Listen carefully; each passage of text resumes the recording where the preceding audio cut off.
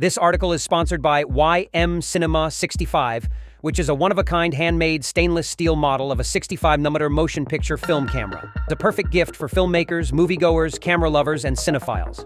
Dune Part 2 will be screened in IMAX 70mm, but shot digitally. Good news for 70mm enthusiasts.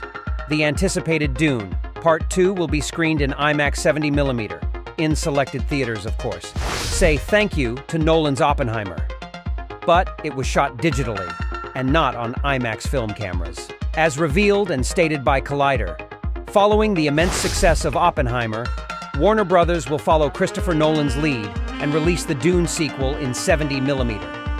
Additionally, according to IMDb, Part 2 is the first film of the franchise to be entirely filmed for IMAX 1.43.1 and 1.90.1. There will be an option to watch it entirely on a 70mm projection.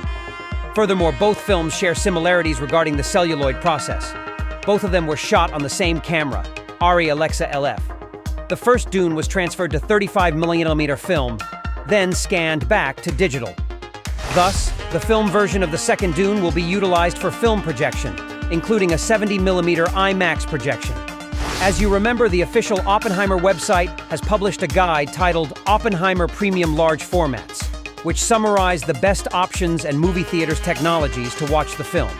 The guide explained the various formats from IMAX 70mm to 4K digital cinema. Unfortunately, no guide was released regarding Dune Part 2.